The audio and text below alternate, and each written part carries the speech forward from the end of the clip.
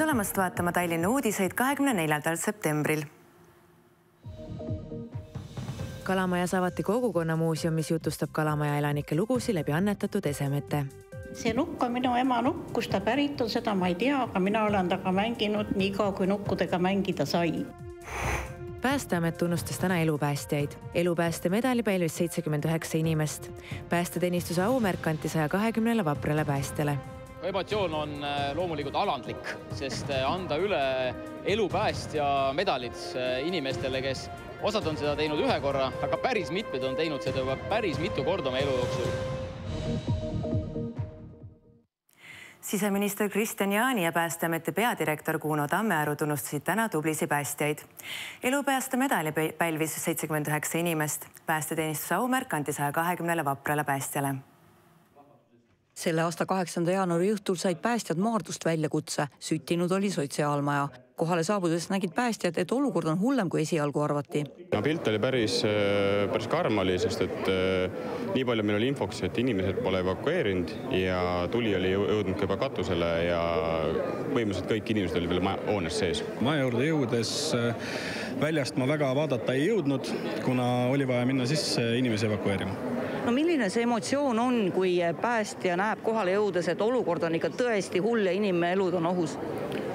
Emotsiooni peale ei jõuagi väga mõelda, sa hakkad selle peale mõtlema oma töö kiiresti ära teha ja need kõik inimesed välja saad, siis pärast hakkad analüüsima sündmusi, siis see emotsioon tuleb, et alguses arvasin, et oli niisugune lihtne sündmus, aga no tegelikult, kui hakkad pärast järgi mõtlema, et oli päris, päris karm sündmus ja väga õnnelikult lõppes meie jaoks. no kui te sinna majja sisenesite, siis mida te esimese asjana nägite, kas inimesed olid paanikas, rabelesid, mis pilt oli äh,? esialgu paanikas inimesi ei olnud, sellepärast et enamus inimesi majas ei teadnud, et üldse maja põleb täna tunnustati neid vapraid mehi elupäästemedaliga.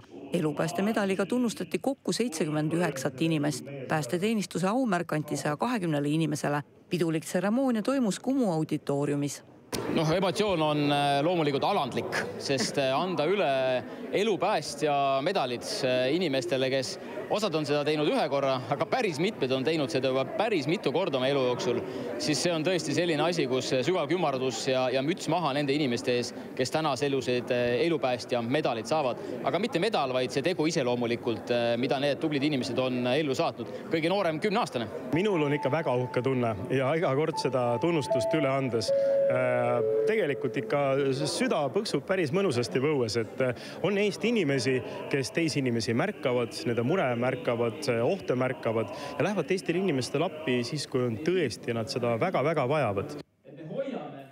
Tallinna ja Tartu teadlased on teinud suuri avastusi. Eesti teadlased on uuringute käigus leidnud viis looduslikku ainet, mis suudavad võidelda koroonaviirusega. samuti tutvustasid insenerid protoavastuskeskuses robotit, mis aitab haiglates nakkushaigetele ravimeid transportida sel nädalal mitmed tegusad Eesti teadlased esitlesid, kuidas nemad koroonaviirusega seotud probleemidele lahendusi otsivad. näiteks on avastanud meie kohalikud bioloogid ja keemikud, et Kassari lahe põhjas kasvavatest vetikatest eraldunud suhkur on võimeline pärssima koroonaviirust me julgeme väita, et meie praeguse projekti tulemusena on juba selgunud, et me saame Eesti loodusest eraldada loodusliku aine, mis aitab koroonaviiruse vastu.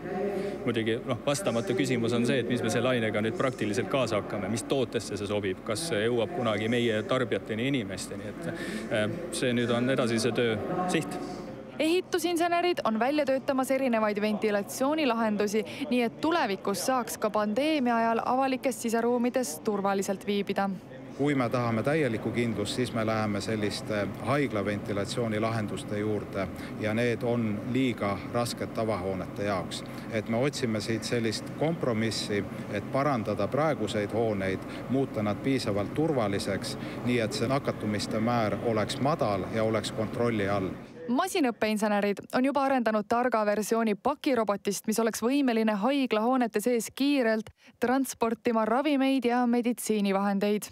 Ta on äh, mõeldud opereerima äh, siis äh, hästi rahvarohkes keskkonnas, et kui inimesed lähedal liiguvad, et siis ta ei jää seisma, kuna ta peab oma ravimid õigeks ajaks kohale viima, eks ju ja teine asi loomulikult on see, et, et pakirobotid sõidavad tänaval, aga meie robot peab kasutama ka ise lifte, avama ise uksi ja suhtlema siis turvasüsteemidega. kes teab, kui teadus viirusest võitu ei saa, ehk suudab ta elu viirusega veidikenegi leevendada kalamaja Funkvilla valge luikavati pärast kolm aastat kestnud renoveerimistöid Kalamaja muuseumina.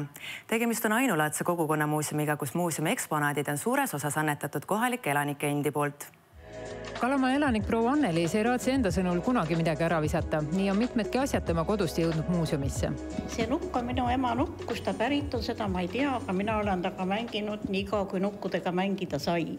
ja siis edasi järgmises vahes on siin need sellised kivipakud mida igaühel mängida ei lubatud, aga mängisid minu onud, kel on pilt siin pildil koos emaga siin taga. ema elas eluaeg ka siin, sündis siin, suri siin. mitu põlve te juba Kalamajas olete olnud siin? Äh, vanaisa, vana, vanaisa, ema, mina ja nüüd lapsed ja lapselapsed Kalamaa muuseum on kogukonnamuuseum, mis tähendab, et kohalikud elanikud on sisuloomesse kaasatud esimestest etappidest peale. ja meie oleme nii-öelda ainult jah, nende nii-öelda inimeste mõtete elluviijad et inimesed on rääkinud siis meile neid Kalamaja lugusid ja enamus esemeid, mis te siin muuseumis näete, on siis ka Kalamaja inimeste annetatud, et see on Eesti esimene selline, sellisel laadselt sündinud muuseum. siin sa saad proovida siis tänapäeva Kalamaja rahvariideid. just, see on väga tuttav, väga tuttav tuttav sall, eks ole, Mare Kelpmann, kes on siis Kalamajas neid salle ka teeb ja Kalamajas nende sallide kontsentratsioon on siis kõige suurem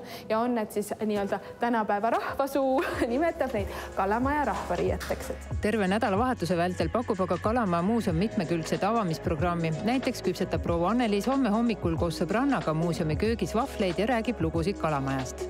oli tarvis sellist asja siia Kalamaja elanikele ja ka tervele linnale?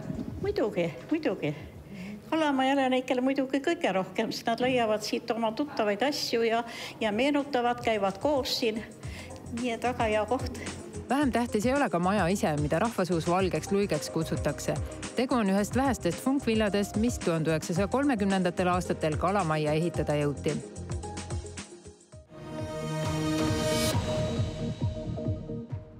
gripiviiruse suure leviku tõttu saab lapsele taas nädalavahetustel kutsuda koduarstibrigaadi. koduarsti võivad kutsuda kõik Tallinnas viibivad kuni kaheteistaastaste haigestunud laste vanemad, olenemata nende tegelikust elukohast. tohtrid käivad väljakutsetel reedest pühapäevani kella kahest päeval kella kümneni õhtul. eelmise aasta hilissügisest alustatud arstibrigaadi väljakutsete peamiseks põhjuseks on olnud ägedad viiruslikud haigestumised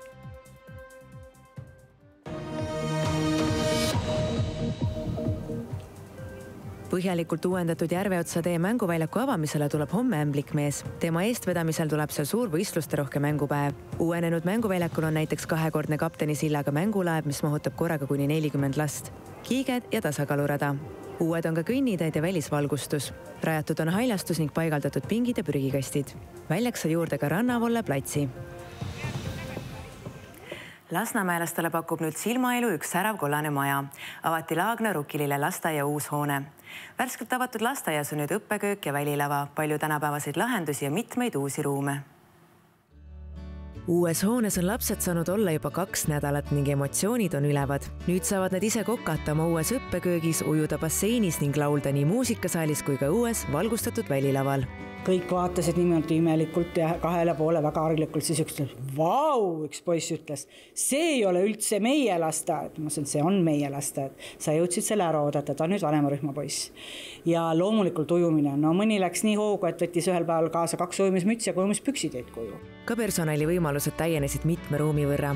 lasteaias on nüüd eraldi projektõppe, logopeedi erapedagoogi kabinetid ning ka üldkoosolekute ruum samuti on personalile abiks turvalisuse tagamiseks hoovialale paigaldatud videovalve.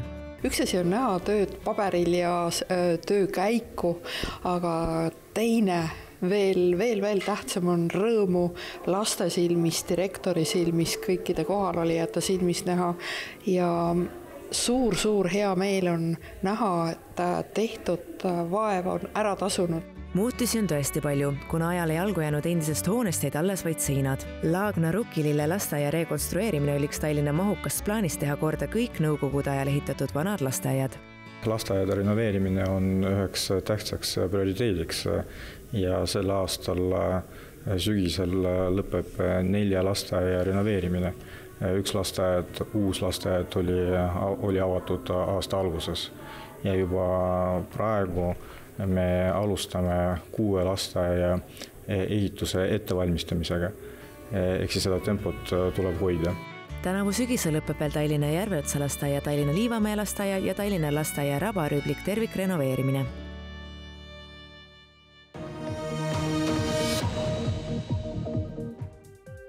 laupäeval toimub Järve terviserajal rinnavähi teadvustamiseks ja abivajajate toetuseks Roosalindi jooks. sellega propageeritakse liikuvat eluviisi, mis omakorda aitab rinnavähi riski vähendada. uuringute alusel on vähiravis tähtsaimal kohal just kehaline aktiivsus. kolm tundi nädalas vähendab rinnavähki haigestumise riski ligi veerandi võrra. iganädalane treening vähendab poole võrra riski pärast varajast ravi uuesti haigestuda Eestis diagnoositakse igal aastal umbes seitsesada viiskümmend uut rinnavähi juhtu ja suur osa neist on avastamise hetkel juba kaugele arenenud, nii et kõik naised, registreerige ennast homsele Roosa lindi jooksule.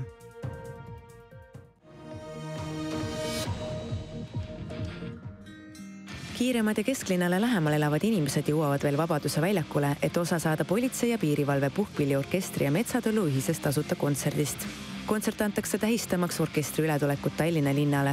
orkester saab järgmisest aastast ka uue nime, Tallinna Politseiorkester. pärast linnapea Mihhail Kõlvarti ja siseminister Kristian Jaani vahel sõlmitud lepingu allkirjastamist saab kuulata kontserti. nädalavahetus tuleb peamiselt kuiv ehk jahe. vaatame üle täpsema prognoosi